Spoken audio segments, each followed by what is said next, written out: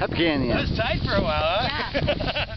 that was actually pretty fun when we were working it. I had it marked, but I just it was too small to actually.